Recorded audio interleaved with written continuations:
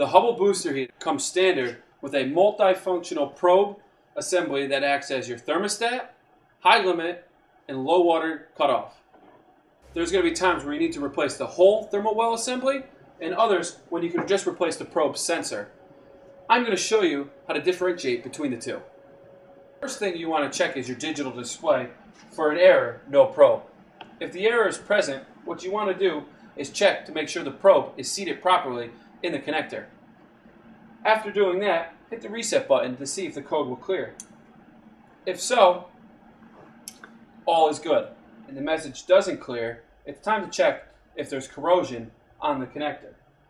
Remove the connector and check. There is going to be a jelly-like substance which is totally normal. What we're looking for is green corrosion. If there is no corrosion, plug it back in and move over to where the probe goes into the booster tank.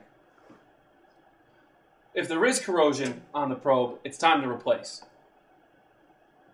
Point, we need to remove the probe sensor from the thermal well. This can be easily done without draining the tank with a razor blade.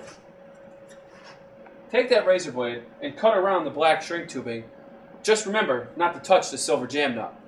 Once cut around that black shrink tubing, the probe easily slides out.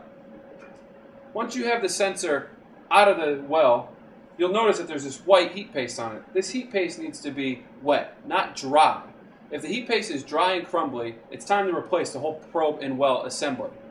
If it's wet and you still have the air no probe, time to replace just the sensor.